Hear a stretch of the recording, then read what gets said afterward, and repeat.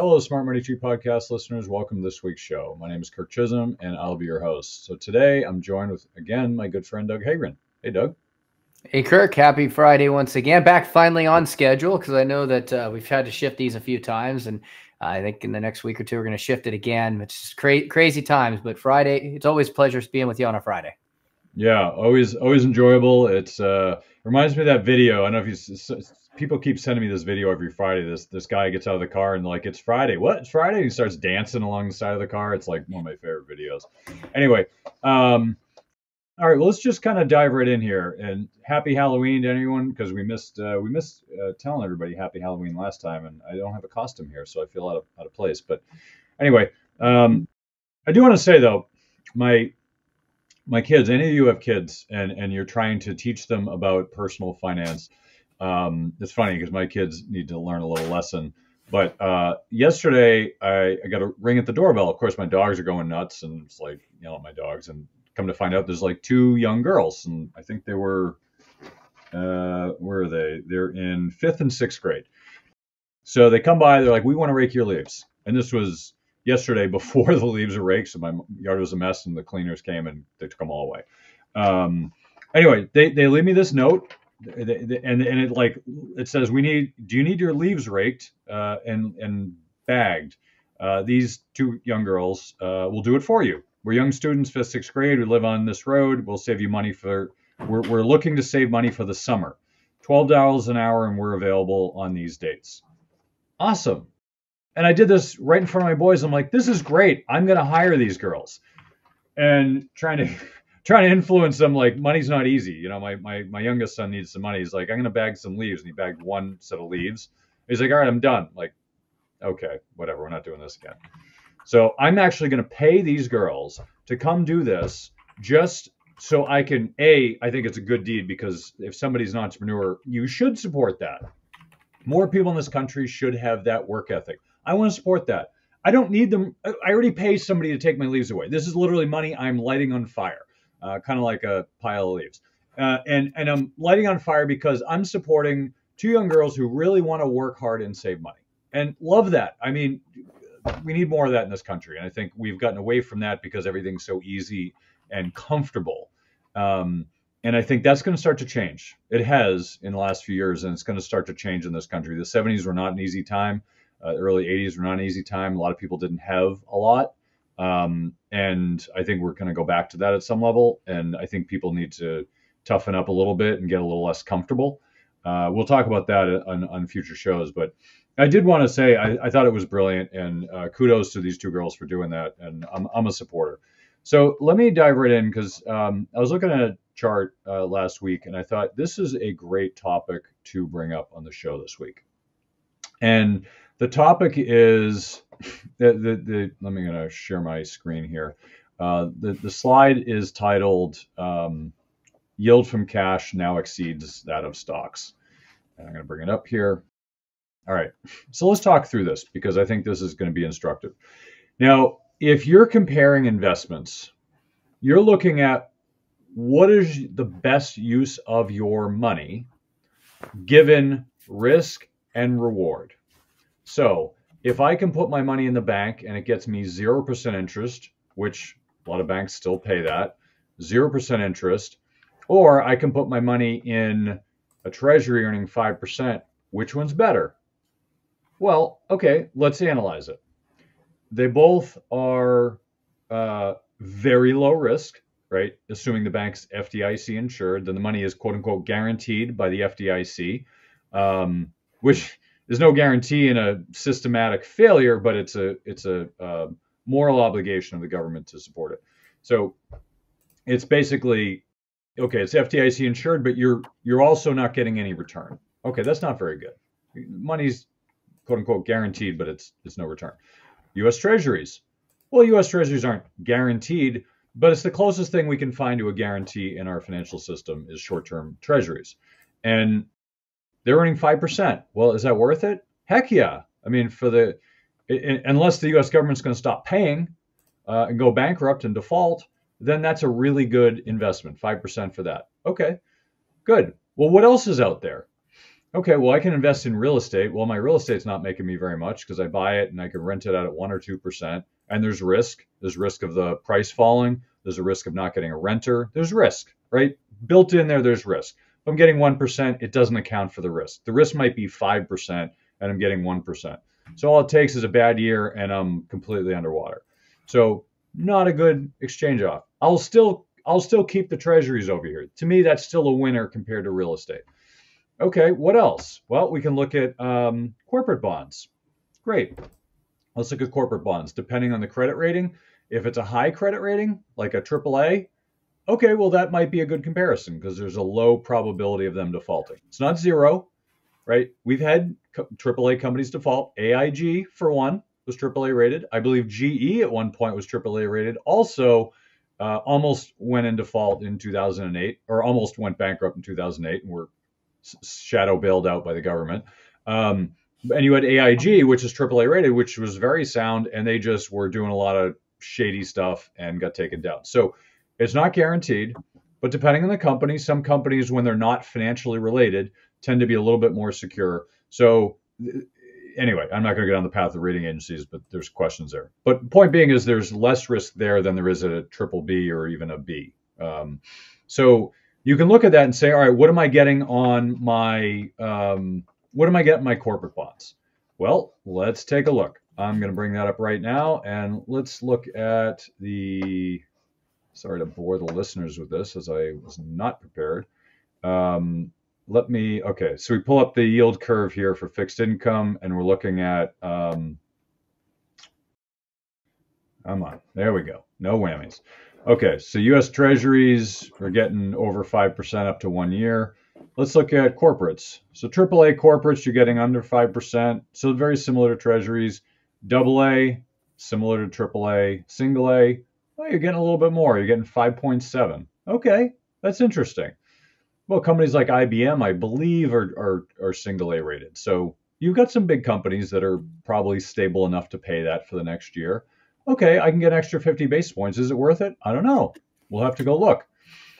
Um, they don't have high yields here, but looking at munis, munis you can get AAA, you can get about 4%. Oh, that's pretty interesting. What's the tax equivalent yield on that? Oh, 6%. Well, that's interesting, right? AAA munis get a tax equivalent yield of approximately 6% one year out. That's really interesting. Is that worth it? I don't know. But is it worth looking into? Absolutely. Okay, so now I'm comparing 5% treasuries, which are close to good, you know, pretty much money good. Um, you have munis, AAA munis, which you could argue whether they're money good or not, depends on the state, but uh, there's, you know, if it's a GO or um, a really solid revenue bond, potentially you could you could you could have some good good numbers there, but you have to research that. Um, anyway, so the um, but now let's look at stocks. Okay, let's look at stocks since we got this chart up here. Well, basically what we're looking at here is that this is the uh, earnings yield of the S&P 500. So aggregated of 500 stocks into one earnings yield. Now, over the last 20 years, it's been positive, which means it's better to put your money in stocks than in cash based on the earnings yield, right? And I'm, I will not go down the rabbit hole of what that means, but just just take me for a word, earnings yield in comparison. So if you looked in the in, in the 50s and the 60s, it was better to put your money in stocks because the earnings yield was higher. But if you looked in like the early 70s, you looked in the early 80s and spikes through the 80s and uh, late 90s, it was you were much better off putting your money in three month treasuries because the earning yield is higher. Now, what can you deduce from this? Well, let's look at it. Oh, it went negative in the early 70s. What happened in the 70s? Oh, there was a recession. What happened in 74? Oh, there was a recession. What happened in the early 80s? Oh, there was a recession. Like, you know, look at the uh, look at the late 90s into 2001. Oh, wow, I remember that. There was a recession there too. So the point is is when you get and this is the this is the lesson I'm trying to convey today. It's not that this means there's a recession. What it means is when you get below zero, right? So basically, when the earnings yield um, from cash is, or, or when this ratio is negative, what it basically means is that it's more profitable to put money into bonds than there is into stocks. That's all this is saying is that when it's positive, it's better to put money in stocks in terms of risk to reward. When it's negative, it's better to put money into bonds. Now, I'm not saying you shouldn't own stocks. I'm not saying you should only own bonds. What I'm saying is this is a metric you can use to analyze the whole market and say, wow, bonds are a good deal in comparison to stocks. Now, we started talking about this a year ago. We said, start looking at bonds. not quite there yet, but start looking because it's getting really attractive. And this mostly this whole most of this year, we've been saying the same thing. We've been pounding the table on bonds. Bonds are really attractive. 5% and up is an attractive yield in comparison to whatever else is out there today. Now, it's expensive today. Everything's expensive across the board. I've talked to many, many friends that work at hedge funds and other, you know, large financial institutions, and they're all saying the same thing. I cannot find anything reasonably priced or attractive. So, look at this and just d- deduce like, should I be in stocks? Maybe. Maybe you should. I don't know. I don't like stocks here because of this. And this is from the index perspective. This isn't individual stocks. Of course, there's great and terrible stocks out there, but um, you know, I'm I'm walking around with with a net looking to pick up stocks and nothing's falling in it, right? Um, I would imagine maybe a year or two we go into recession, we'll see a lot more deals. But right now, I'm happy getting five, five and a half percent on U.S. Treasuries just because of this, just this one thing, right? And this doesn't take into account anything else, right? This just I'm looking at this and saying, I feel pretty good about my position because more and more, the more negative this goes, the more attractive that bonds look. And at some point, that's going to change. You know, stocks fall 20, 30, 50, 60%. I'm going to change my mind, right? So if we're a year from now and you, you listen to this and you're like, well, you said that bonds are more attractive. Like, well, first of all, that was a year ago. And second of all, I have a right to change my mind. And I'll talk about it in the show. I'm not keeping anything from anybody. I'm, I'm fully transparent in the show. If, if I if if I feel like things are changing, I'm going to tell you. And just like we have in the show, we said bonds are changing. Not yet, but pay attention. And now banging the table on bonds, you got to pay attention. Now we're at a point where you say, all right, I'm still not paying attention to equities because there's nothing that's attractive in there yet. They have sold off from the peak, depending on the index, quite a bit. And you know, I know they bounced in the last two days, but um, in general, when you think about your portfolio, just because the market's down 10% from the peak doesn't mean it's attractive. It is still expensive and still wildly unattractive in comparison to anything else. So if you look at your frameworks, you know, we talk about in the show frameworks. You think about your frameworks, you think about your lens in the world, it is a stack of different lenses.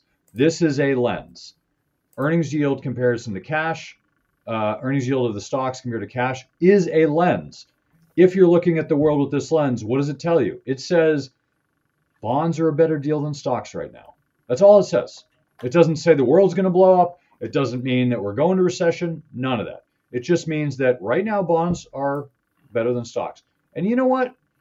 The bond market is quite big in comparison to the stock market. What do you think's going to happen if everybody wakes up one day and says, "Hmm, my stocks aren't going anywhere, but I can get five and a half percent from bonds," and all of a sudden there's a big rush out that door. You know, it's like a, a, a fire. It's like a fire hose trying to go through a, a Dixie cup, right? You've got this huge rush of people out of stocks into bonds. The bonds will be fine. Uh, stocks, not so much. Once people realize stocks are not really the best place to be at the moment, they're going to start changing their patterns. And we had a good 10 years of TINA, or there is no alternative to stocks, basically. And basically, bond investors putting money into stocks because can't make any money in bonds. So it, it caused the stock market to go to really high heights. So the better the bond market does, like, I'm sorry, the higher the yield of the bond market, the more likely people are going to invest. If you give me a 7.5% treasury, God, I, I, I wouldn't only go all in, I'd probably double up. I mean, that'd be great in this environment. But I don't think we'll get there. I think 5, 5.5% is probably the peak of what we're going to get in this cycle. So just keep in mind, there are many lenses to look through. This is one of them. This is your lens for the week. Uh, cash versus stocks, earnings yield. Which one's better in comparison to the risk to reward? I live in the great state of Massachusetts. I may be the only one who calls it that, but I digress. The great state of Massachusetts has a commercial funded by the state that says you can't win the lottery if you don't play. For the moment, let's ignore the fact that there's a state sponsored commercial suggesting that you go out and spend your hard earned money gambling on lottery tickets with odds of over 100 million to one of winning. But it's true, you can't win if you don't play. I'm giving you the same opportunity here in the show. The only difference is I'm not asking you to buy a lottery ticket. I'm only asking five to 10 minutes of your time. But I will pay you at least 100 million Zim dollars for your time. We do have some foreign listeners. So if you don't like Zim dollars, we may have some other currencies as well. If you want to earn over 100 million Zim dollars, go to www.moneytreepodcast.com forward slash free money to get your free money today. Doug, I know we got a lot of things to talk about today, but what's on your mind? Well, I want to just stress one little, one more thing on that because I agree completely. As a matter of fact, I think I don't know if I talked about on this, but when I got my CFP certification, well, the gentleman that taught the last review course that I went through was uh, was a gentleman that held a lot of designations, but he was also a bond trader in uh, uh, on Wall Street in the 1980s, and he happened to be one of a handful of bond traders that were uh, working in 1987 on Wall Street. And uh, er, you know, I mean, you might most people, you know, you might have heard of if you don't remember uh, what happened in 1987. Well, as he said then, that was my greatest day. Like, you know, because what happened as the stock market plummeted, people flew to bonds for safety. The other thing that I want, and, and what you just talked about there is again, it would not, it'll be good for bonds. It won't be good for stocks. The other thing that I wanted to point out here, which I think is also a very interesting tidbit, is a lot of people, and there has been probably more than ever in the last 10 years, a focus on uh, many people in the the, twi- the Twitter world just invest in the S&P 500. Let's see, you know, because that's the place, best place to make money. And they'll quote 8, 10, 12% returns. Okay.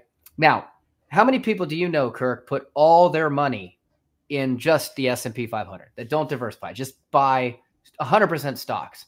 Probably very, not that common. Would you agree? Very few. Yeah, very very few. few.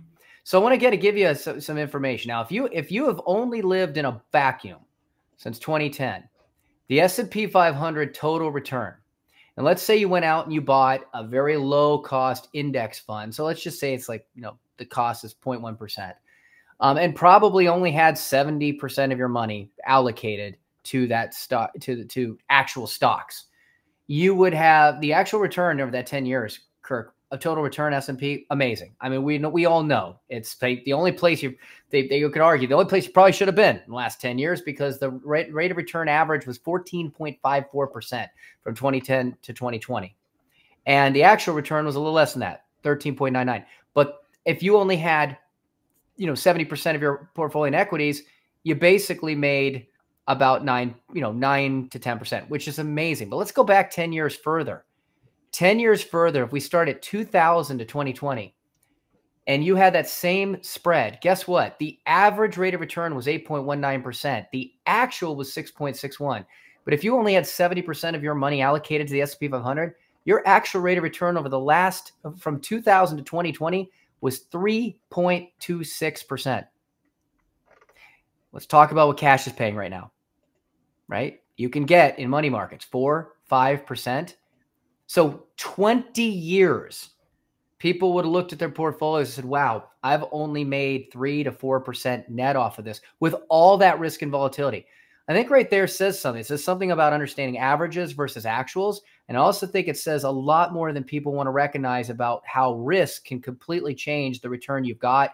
20 years of basically lost growth.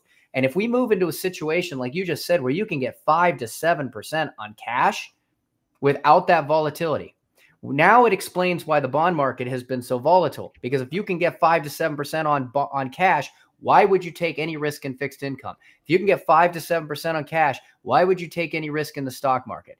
It, it, we are really coming back into, if we're not already there, a time in which it isn't just going to be one asset class is going to rule them all and it isn't going to be a time, and it's going to be a time where, based on numbers like that, just expect to see a heightened level of volatility. And what the net result will be on those returns is yet to be seen.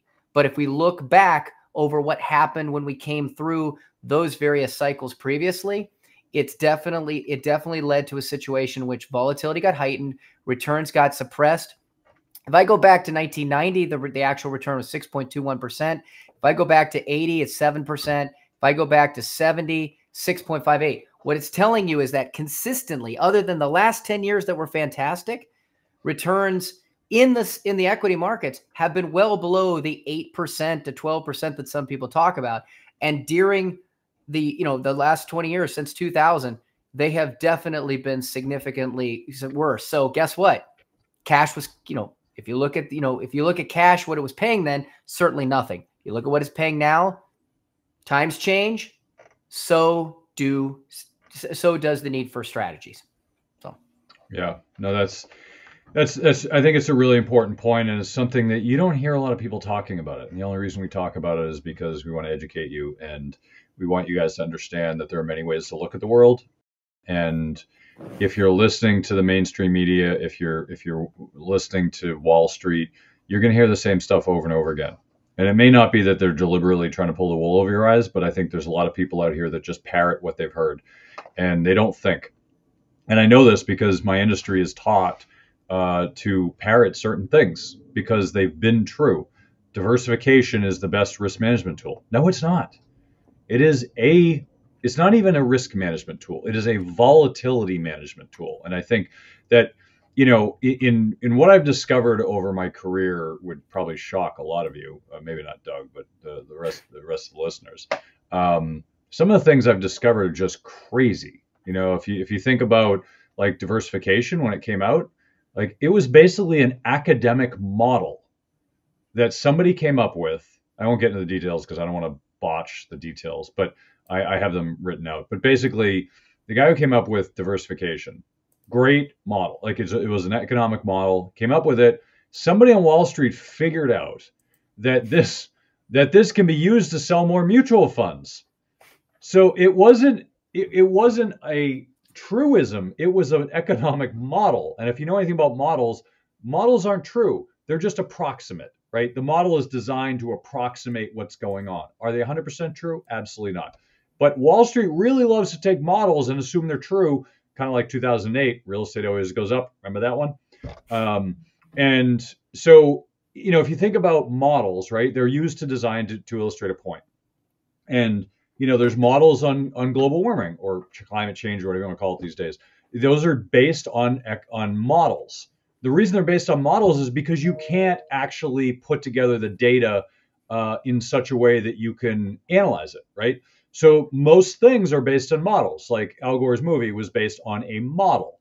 Um, a lot of climate data is based on a model. And are models true? They can be, or they can be false, right? But we generally, as a public, don't understand science. Sometimes they use models, and sometimes they use actual scientific data, right? Data's data is a part of it, but models are also a part of it.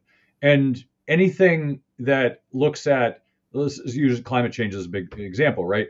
They're looking at climate change, saying, "Oh, the world, the world's going to end if we don't do X." Okay, that's one side of it, right? The other side of it is, what are we sacrificing to get that thing, and is that sacrifice worth it, right? So if there's a five percent chance that the world's going to end because we're we're we're polluting it, or you know whatever, I'm not going to go down the road, but let's say there's a five percent chance, and we have to sacrifice 90% of global GDP for 10 years in order to accommodate that, is it worth it? And I'm not saying it is or isn't. I'm just saying you have to look at the numbers and say, is it worth it? Is it worth killing 90% of the planet to save the planet? I don't know. Like, I mean, this isn't a decision I make. It's like going to war. Like, yeah, you got people fighting in, uh, you got Palestine and Israel fighting, or Hamas more accurately, and Israel fighting.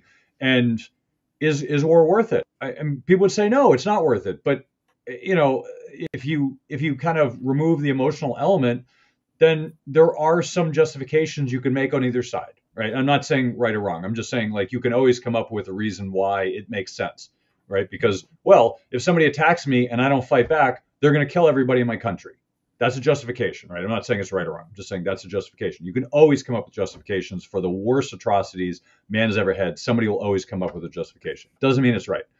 So when you're thinking about um, when you're thinking about models, right? And and this this kind of brings it back is um, this example uh, of diversification was designed uh, to illustrate a point, and Wall Street used it to sell more stuff, and they do this frequently. So diversification is a volatility management tool. Volatility means the ups and downs in the price movements every day. A risk management tool means 2008, uh, early 2000s, 2020. Uh, I feel like we got a lot of those recently. 1987. Those are risk management. So if you didn't lose big money during those times, you had good risk management. If you did lose big money, you had volatility management. What about last year? How did everybody do? Well, virtually everything lost money last year, with, with a handful of exceptions. Well, that wasn't really risk management. Uh, so it was designed. So if you had a 60 40 portfolio, right, 60% stocks, 40% bonds, uh, you'd say, oh, I was protected from the vol- from the risk, is how people would describe it. Most advisors call it risk. It's not risk. So the way that portfolio is designed is the stocks go up, bonds go down, vice versa. It just it narrows the band of volatility, right? The ups and downs. So it just shrinks it. So it's it's an easier ride. However, when they both go down a lot, you don't have volatility management. You have risk management because everything went down, which means if you lost 15 to 30% last year, then you didn't have risk management. You had volatility management. And so just understanding the difference between the two is really important because if you don't know the difference, then you could have another 2008 where you lose 50 to 60% of your stuff and you wake up and be like, huh, my diversification didn't work. Yeah, no, no crap, right? No shit. I don't want to swear on the show, but anyway, so just I, not that I don't want to swear in the show, but I know some countries actually, if I swear, then I get banned. So I don't. That's that's the reason I don't care about swearing. But uh, just just letting you know, that's why I try to keep it clean. Um, Did you anyway, say some I, countries? Where are we broadcasting? uh, I think we're in like a hundred and some odd countries, Doug. We're um, excellent. I have to look this up. We're actually in a lot of countries. Yeah, I'm going to start marketing that I'm world famous. I mean, or world infamous. Which one? I also infamous. I also want to say dad joke of the day here, Kirk. I know you're talking about the effectiveness of modeling, you know, and models selling mutual funds. Listen, models have always sold everything. Just ask L Brands. They built their entire brand off of it. So, you know, models work. well, boom, boom. Bad joke of the day. Yeah. Um, Oh. All right. So I, I do want to point out a few things, and I hand it back to Doug. There's a few charts I saw here which I thought were interesting. Um, so one of them is this is uh, I can't can improve this. No. Oh well. Okay. Well, this is best I can do. So small companies now face rates at 10%. Now, this is one of the factors of why we could go. I'll say could in, in air quotes because it's probably close to will go into recession um, in the near future because big companies are not beholden to the same standards. Big companies, AAA, AA, as you note, as I mentioned earlier, they're around 5% interest rates, maybe even less, which is pretty good, right? If Apple, Microsoft, Google, like, you know, Johnson Johnson, they can borrow rates at 4%, 5%, that's fine, right? If they're making 10% profits, they can live with that, right? Because they're still gonna they're still gonna be profitable. But let's say there's a small company that has 10% profits. Uh, now they have to borrow at 10%, not three or four or five. They're borrowing at 10. Well, now they have no profits. The rate of interest ate up their entire profits. Well, that's that might be okay for a year or two, but what happens if that lasts for 10 years? What happens if we go into recession and their revenues shrink? What if, what if, what if? So the challenge with a lot of this stuff is the fact that um, if you look at small companies now, they're at a place where uh, interest rates are close to where they were in the early, uh, early in the mid to late uh, aughts, and they were even higher before that. And all that means is small companies are going to have a tougher time. But what that also means is that they've been living off cheap, easy money. A lot of companies are going to go bankrupt. And because they eventually have to pay the piper, which is the same problem the US government has. Hmm. So the US government has been living off of cheap, easy money for a long time. And now the concern is, is that, hey, now we're going to refinance our debt at higher rates. Can we afford it to pay it? and I can't remember if it's 30 or 40 percent of our our uh, government revenue is uh, goes to interest. I, I, think it's 30 percent, but it might be 40 um, of our of our national, uh, uh, basically our our budget, our annual budget in this country goes to paying interest. So what happens if that doubles or triples? Well, now we're in trouble. Now that's not going to happen tomorrow, right? They're all of a sudden the bonds aren't coming due tomorrow, and they're gonna they're gonna go up. But every year, some comes due, and we reissue new bonds. And the and the and the I think the Treasury came out this week and said that they're going to not issue long bonds, which frankly is what should have happened years ago when it was 3%. You should have issued 30 year treasuries at 3%. And that's all you should have done years ago. And so we didn't have to worry about this for 30 years. Now we don't have a problem. However, now we do. So what the government's decided to do in their infinite wisdom is let's um, let's borrow in the short end of the curve where it's the highest. Let's go for the highest end. Now, unless they know something, which they might, um, which is, well, if we go into a massive recession and they drop rates to zero again, then they can play this game all over again. But is that going to happen? I don't know. That's an open question in my mind. If we go into a massive recession, will the government bail us out? Or will they keep rates high because they're afraid of inflation? So, what happened in the 70s, for those of you historians will follow along with me, what happened in the 70s was exactly what's going on now, which is we had inflation, raised rates, we thought we beat it, and then we lowered rates, and then what happened? Inflation spiked up again because we went into a recession, we, we raised rates, and inflation picked up. We hit stagflation. And then it took Volcker to really kill off inflation. And Powell's no dummy. Well, he might be, but he's no dummy because he, he's read history. He knows exactly what what happened, and he doesn't want to repeat it. That is very clear from his testimony. He does not want to repeat the 70s. So I don't think he's going to lower rates all that quickly. But that brings in another problem. Because if you don't lower rates, then we become Japan. Japan was mired in deflation for 30 years, and they're still having problems. So, which is worse, where we are or Japan? I don't know. I don't have an answer for that. And honestly, I don't know if anybody does. It's a it's a it's a foggy guess what the answer to that is. My guess is it's probably better to do what we've been doing than do what Japan's doing because Japan is just a rocket ship ride into, you know, I want to call it hyperinflation, but let's just say currency problems. Leave it at that. I don't want to start a bank run. Speaking of bank runs, Doug, uh, what do we have to talk about with banks? Because banks are, uh, I think they're up the creek without a paddle. I think that's the, the term. Maybe that's the technical term. Well, what are your, what are your thoughts know. on banks? In the you know to quote Yogi Yogi Berra, this is deja vu all over again. Because I do believe that this is something that we were talking heavily about last uh, what 18 months ago when the the when we with the Silicon Valley Bank crisis and a number of other banks uh, have uh, were, were running into a cash flow crunch. And you just started talking today about what happens if all of a sudden people can get better money on their cash. They're going to start pulling out of the stock market, but they're also going to start pulling it out of the banks. Okay, and when they start to pull it out of the banks, then the banks have a limited amount of money that they have in reserves where in many cases these banks kept a lower amount of reserves uh, based off of uh, some changes that were allowed to them in 2020 with COVID. Um, and again, they put these reserve requirements in place after 2008 in order to prevent issues of run-ons and lack of liquidity. And then they took them away, and it's what less than two less than two years later, we had a lack of liquidity. So what happened with this? Banks went out and they like to invest money in order to be able to give you a cash yield on your accounts and banks are in the business of giving you a lot less money than they take in. Would you agree with that, Kirk? that's the goal. Pretty good. That's a goal. It's a pretty good business model to do that. Well, here's the thing. You can see that the unrealized interest in banks is what this is is that what banks went out and did is they like to invest their money in like we talked about technically safe assets. And those technically safe assets have often predominantly been US Treasury. Well guess what?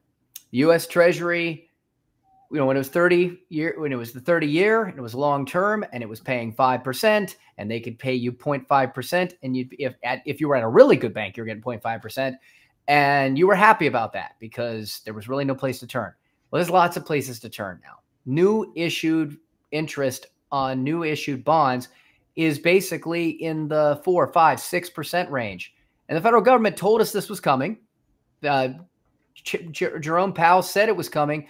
Ironically, we talked about this on a previous show that Silicon Valley Bank CEO or president was sitting on the board of the Federal of the uh, Federal Reserve and knew that this was coming, and yet they went and doubled down on buying long-term treasuries. Here's the problem: now people want more yield. Now people can get more yield, and they're not going to be happy with three and a half percent interest rates. And so, what's happening is these 30-year bonds that these banks have sitting on are basically now underwater. They've lost a tremendous amount of value because nobody wants them. It's not just a problem where it was 24 months ago, where if they sell them, they might sell them at a loss. We've gotten to the point where it's possible that they might not even be able to sell them at all. Okay. So now, if we've talked about, you know, fixed income is mathematically able to be calculated as to what the value, true value is, uh, the yield to maturity based on where the market is and other interest rates out there. And as you can see here, look at these banks. They kind of all balanced around held to maturity, available for sale, and they bounced around a little bit above par, a little bit below par for probably what looks to be around 20, 22 years. Look what's happened just in the past year or two.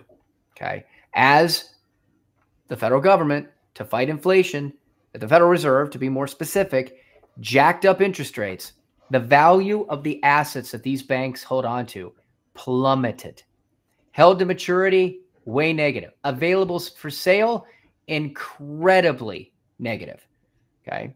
It means that these banks are basically sitting on assets they cannot easily liquidate without taking down the entire financial health of the bank, or they might not be able to liquidate them at all. So if you're trying to go out there and get your cash out of the bank, probably not a problem. If everybody goes and tries to kick their cash out of the bank, the bank is going to have to turn somewhere to create that liquidity because of the Federal Reserve uh, reserve requirements. And guess what?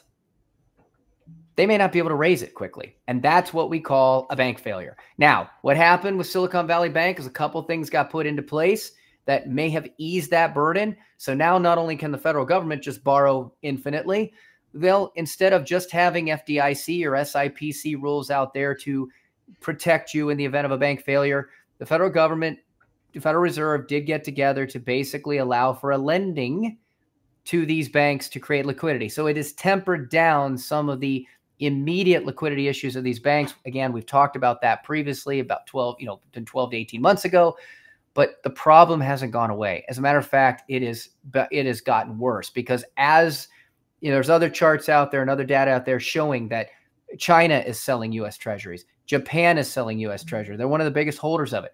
So everybody, guess what happens, Kirk? If everybody's out there selling and very few people are buying, how likely does that make it for you to be able to sell what you're selling? Very difficult, right? It's a huge supply, low demand issue. And a huge supply to low demand issue, simple economics, massive losses. And um, you know, and right now I know there's been articles about U.S. Bank, uh, uh, you know, coming out having massive unrealized loss, losses right here in my neck of the woods in the Minneapolis area. Bank of America is sitting on maybe 150 billion dollars in estimated losses.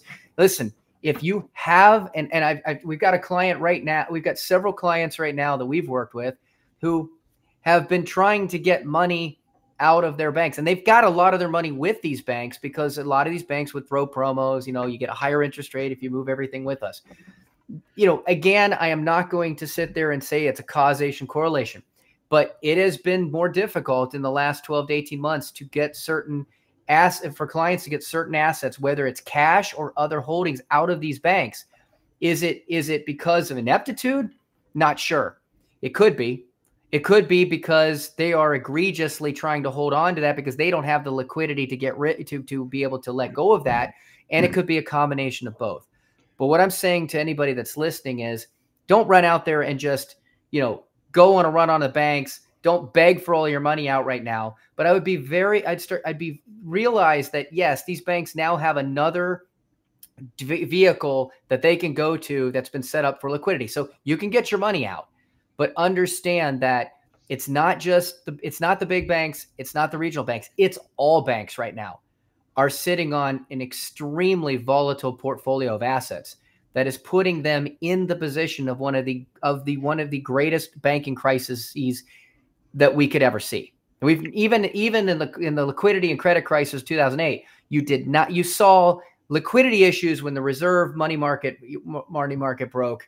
You certainly saw over leveraging, but we did not see the level of unrealized losses, the absolute decline of value. And what did we talk about early in the show? The permanent loss of capital that we are seeing with these banking institutions right now. And there's a number of people who are at fault for it. Yeah, I mean, you raise a you raise a good point, Doug, and you mentioned a few bank names. Um, I, I, had actually heard from uh, a friend about research on, on, Bank of America as well. I won't get into the details. I'm not uh, allowed to say, but just uh, I think just looking at the financials, you can probably tell yourself it's nothing secret or inside. It's just um, you know looking at the potential losses they have look, I, I you mentioned uh, I'll tell you some anecdotal stuff, and I don't want to cause a bank run because I don't know anything. But uh, anecdotally, I remember back in um, 2010, maybe it was, I used Bank of America, and I'd walk in and just um, I remember walking in and asking for some money, and the guy behind me was asking for like ten thousand dollars because he's going on a trip, and he he was explaining it to them. He's like, "I'm going on a trip. I need the cash." Like, well, we don't have the cash. What do you mean you don't have the cash? Like you don't have ten thousand dollars? The hell? It's like, well, we don't have that kind of cash, and that kind of scared me. And you know, I was thinking, oh, there must be a bank run. They don't have the cash, but the reality is, is that everything's electronic nowadays. What they didn't have was the actual cash. Not that they don't have the ability to give it to them. They didn't have the physical cash, and there's a difference, right? Because most of the most of the business done electronically. So, but I do want to point out uh, a point that Doug said is that if we have a banking crisis again, and I would say there's an extremely high probability of that happening. And it's not because of what happened in 2008. And I want to be clear because because what happened in 2008 was a disaster for the financial system and they deserved it frankly because of the way they ran their business. Um, but they um, and I don't think enough people lost money, their jobs, or went to jail because of it. But that's neither here nor there. Um, but that system was broken, and they've put in a lot of uh, other regulatory things to fix that. So I'm not going to say it's not going to happen again, but it's not happening now. So that's not what I'm talking about. What Doug was talking about, which is the potential losses on the books, is basically comes down to a bank not doing its job very well. A, a bank has basically it's a simple model. And I know banking's the, the financials are complicated, just like insurance, because finance is, is complicated when you compare that to like a Coca Cola, which is relatively easy. Um, but if you look at like a bank, basically their job is we're going to borrow money on the short end of the curve, and we're going to lend it at the long end of the curve. Now, if a yield curve is normal, right, it's like 2% and 4%, so 2% in the short end, 4% on the long end, you borrow at two and you lend at four, you make a 2% spread, and you go to the golf course by three o'clock. Like that's basically the banking model, right? Now, what happened in the last few years is because these banks were not making enough money on their portfolio, they went out to the long end of the curve. They're like, well, let's let's you know let's let's um, let's go for the 30 year instead of the, the, the quick one. Or even if they did the quick, it doesn't matter because there's still losses. The reality is, is if banks have their portfolio tied up in long-term treasuries, right? As an example, they can't sell because they'll lose money. Now they could have sold a year and a half ago, like basically they could have sold in 2021. If they sold then, they would have been perfectly fine. And as Doug said, they already knew this. I knew this. Doug knew this. You probably know this. You listeners know this because everyone talked about it for over six months. Hey, we're going to start raising rates soon. I mean, the Fed telegraphed this like I don't want to say it was like six to 12 months in advance. It was not a secret. Everyone knew in January they're going to start raising rates. And so it wasn't insiders that knew this. Everyone knew it. And yet they still didn't change their portfolio. Why? I have no effing idea.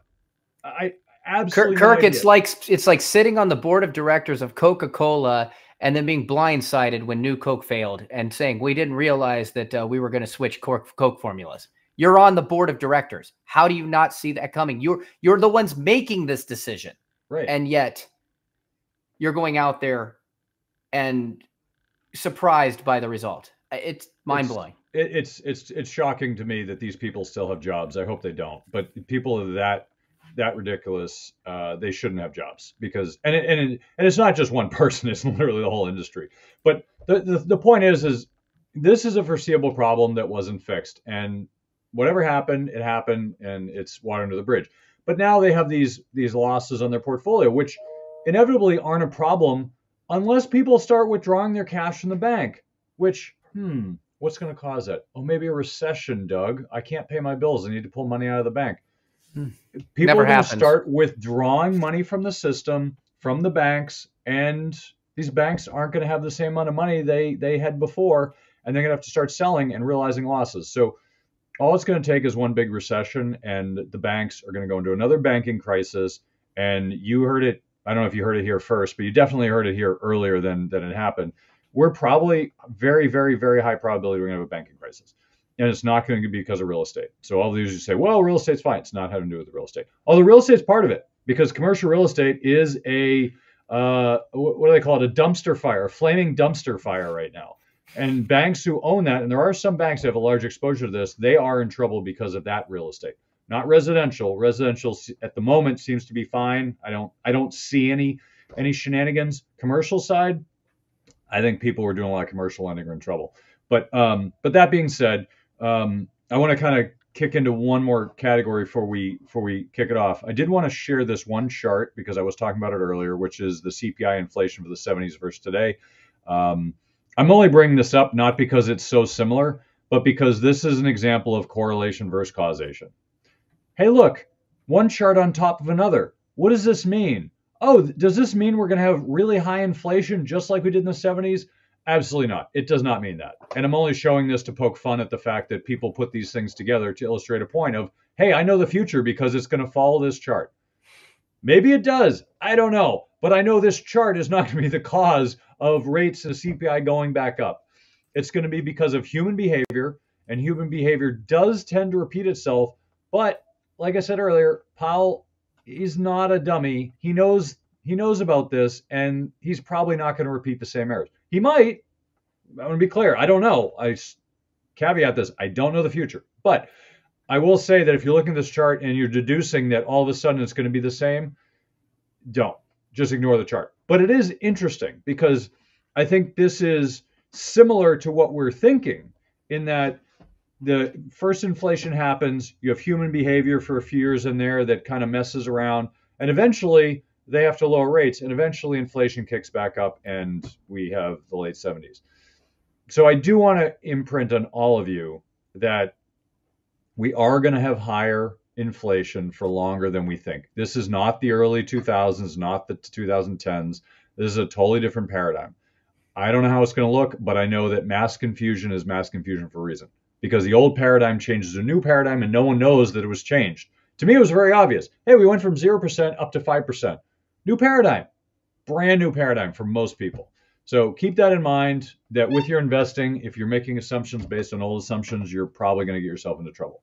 Um, I'm going to let you. Uh, there's a story here. I don't know if you want to talk about it, Doug, but uh, I'll let you kind of take us home here. Which story are you referring to, Kirk? Uh, the uh, the settlement, or you want to talk about something? Oh else? yeah, yeah, yeah. Okay, thank you. Yeah, just want to make sure we're going on. So, the, earlier this week, um, there was a massive uh, settlement. Uh, actually, it wasn't even a settlement; it was a jury award about 1.8 billion dollars that was levied. Um, that was levied against a number. Uh, I forget exactly which uh, which broker uh, this was levied against. It was basically attack on the Realtors Association. Um, a lot came, a lot of coming out. It's been it was kind of silent in the background. There's been a number of lawsuits that have been settled by Keller Williams and another a, a number of other major players in the real estate industry. Most people are are kind of accustomed to how the real estate industry works. You you list a house. Uh, for the most part, uh, you're going to have you know an automatic. It's just going to kind of default to six percent is going to be the seller. You know the, the the fee to the seller. Um, and then when you sell your house, that comes out the top. The title company takes that money, you know, a part of the sale and gives it to the realtors, and that's how they get paid. Well, what occurred in the in this situation is that the um, is that uh, when this occurs, most people don't know exactly how this all occurs, but once that money's given, the title company will then split and they'll pay usually about three percent of it to the to the seller's broker, and they'll put three percent to the buyer's broker, and that's how. And so they walk away, and then the realtor gets paid from there. Well, a uh, the plaintiff was both a seller's broker agency, along with a seller who had looked at the transaction of their sale and said, "Look." all my equity got eaten up in these fees. And now I recognize that I've got someone representing me to sell the house, but why am I paying for the buyer to come to my house? And this is just by the way industry's been forever, right? And again, it all goes through uh, the Realtor Association kind of sets a lot of these mandates. So what happened is, is this 1.8 billion dollar award effectively said, "Sorry, yeah, you you cannot, you know, it, it's inappropriate we feel, the jury, that you're taking this money and paying them to come buy from you. And that they basically opened up the argument of antitrust. And now the US government has come out and they're they've opened up some antitrust investigations on this. And let's face it, there's one entity that sets all this. So there's certainly some arguments that it is basically under, you know, trust or uh, you know, monopoly type of engagement. Now, whether or not that's in your best interest or not is the big question. Here's the rollout of this, and, and it remains to be seen. But under this argument, they both were saying, why should we pay the why, why should we pay the buyer? Now, buyers have effectively been able to come to the table for free. Now, I know there's a minimal number of closing costs. Sure, you have to pay for the inspection and stuff like that, but buyers have been able to come to the table and not really have to come up with anything to get representation. That's been presented or always paid by the seller. What's now going to you're going to start happening? We start to hear some rumblings of brokerage have said we're no longer going to pay the buyer the buyer's representation broker in you know in these fees. And the court and the jury basically came out in this class action settlement said, and they shouldn't have to. Don't know where this is going to head, but head. But I, here's a couple thoughts that I have on this. Number number one, buyers now may be in the position where they're going to have to pay for representation on a buyer's broker directly and and of course that may drive more brokers out from representing buyers because now you got to get paid up front and a lot of buyers one of the things that was nice about real estate is it didn't require a lot of people to come up with a tremendous amount of cash what cash you needed whether it was closing costs title fee etc you know on the buyer side you could roll into your mortgage and a lot of people again they go into the buying situation and they are cash tight and we already know it's gotten worse now that we've seen an increase in the number of, uh, you know, in the, in the price of homes and interest rates. And so they've rolled a lot of costs into the back end of the mortgage. The law has never allowed those closing costs to be rolled into the back of the mortgage. So if the law doesn't change, now you need to come and pay up front potentially to be represented as a buyer. Again, where that leads is the big question mark, right? I'm not making a prediction, but it puts more pressure on an already uh, reeling industry right now that is struggling with high cost and high interest rates, a lack of a lack of buyers, a lack of product that's out there to be sold, and now there's going to be they're going to see additional lawsuits, and there already was a bunch of them that are attacking the Realtor Association. So just know that it looks like there could potentially be significant changes to come within how real estate transactions occur in an industry that is already struggling with a lot of challenges right now. Yeah, well, I think we're gonna we're gonna definitely keep keep down that path. It's very interesting. Uh, where can people find more about you, Doug? We got to wrap it up. No problem. It, it, thanks. Um, listen, we talk to families every day. I just went on a tour to college and nobody's asking questions. I talk to families every day. They're like, hey, my kid's to go here. I just found out someone the other day whose daughter just decided to sign on the bottom line to go to a school um, for what's called early decision. If you don't know what that means, that's question number one you need to figure out. Basically, it is a financial commitment that if they get accepted, you're going to pay it. Well, they just found out that they may be paying $200,000 and they can only afford half that. Listen, paying for college is a real issue for families getting, you know, making sure that that child as it gets to a college where they're going to finish in four years is a real issue for families. Making sure they get a job that gets, you know, out of college, real issue for families. The struggle of being a senior in high school and dealing with all of the, stuff that comes in for paying, you know, to, to pick a college is a real stressor for families. It doesn't have to be this way. You don't have to have as much, you don't have to be, go into debt. You don't have to be broke. You don't have to be as stressed. If you, you feel any of these things, start by getting some information on this. Getting better information is going to help you to be armed. We have a lot of resources at procollegeplanners.com or reach out to us at info at procollegeplanners.com. Listen, if you're in our age group, college is whether you want to admit it or not, you know you're stressed about college. Make your life easier and don't go into debt doing it. Great. Thanks, Doug. Thanks for joining us. I want to touch on one thing. We're going to wrap it up here. Uh, and that one thing is this this is the FedWatch tool meeting probabilities, and this is from earlier this week. And I pointed out because apparently for this meeting this week, virtually nobody, meaning only 5%, uh, nobody thought that the rates would go up. Uh, 5% of the people thought they might go down, uh, but 95% thought they would keep it the same, and that's exactly what they did. Next month, however, uh, is well in December, I should say. In December, it's a little different. We actually have a much more dispersed crowd. Some people think it's going to rise. Uh, some people keep it the same. I have no idea where that's going to be, but I do find it interesting that over the next year, people think that rates are going to drop at least uh, 100 basis points. Um, it's still not clear, but it's very interesting to me. Um, this is always a tool to keep a watch because it gives you an idea of where the market thinks things are going, and the Fed tends to follow the market and if they don't, they tend to bump the market in the direction that they want them. So it it doesn't cause too much ruckus. So like they wouldn't raise rates yesterday because no one thought they would. Uh, I think that's a smart move in their part because if they did, you would have seen chaos in the markets, and they don't want chaos. They want orderly conduct uh, in trading. So anyway, I thought I would share that. I always enjoy those charts when I see them. Um, but yeah, so we're gonna we're gonna wrap it up. I think next week we're gonna talk about some interesting stuff too. Uh, the, the, the, Fed uh, the Fed spoke this week, and the market listened, and the market has bounced uh, since then. Uh, I'm not sure what it means. We'll we'll find out. It, it, the market was oversold, and then it bounced uh, after the Fed meeting, which to me just meant that it was ready to go anyway, and it was just needed a catalyst, and that was a catalyst. So we'll see if next week uh, turns in anything. But technically, the market's still um, still at a at a point where you could argue that well maybe maybe now's a good time to not buy. Uh, uh, technically, we'll see. Um, we still do have the next two months of the year, or three months, which tend to be very strong months. So we could see a significant bounce here.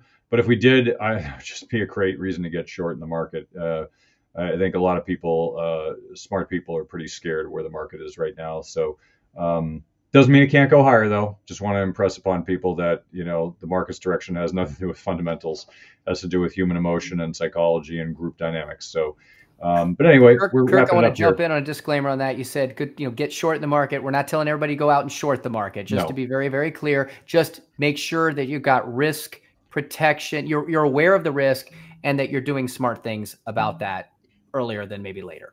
Th- thank you for the disclaimer, Doug. I, I, I, was assuming my listeners are really, really smart. So, but thank you for the disclaimer. Most for, of them uh, are, but you never know. One might slip in there. Yeah, CYA, Doug. Thank you. That's the show for this week. Thank you again for joining us on Money Tree Investing Podcast. My name is Kirk Chisholm, wealth manager of Innovative Advisor Group. We don't just manage your wealth, we make your life better. You can find more about me at innovativewealth.com. And of course, you can find me every week here on this show. You can also check out our show at Money Tree Investing Podcast. On our website, you'll have access to the show notes, resources, and the archive shows. Please remember to subscribe on our YouTube channel for immediate access to the new shows when they're released. When you subscribe to the show, it allows us to get access to some of the top minds of investing in personal finance. While you're here, please leave a comment and question if you want us to address it on the show. Have a great week ahead, and remember, no one will care about your money like you do. So invest in your life.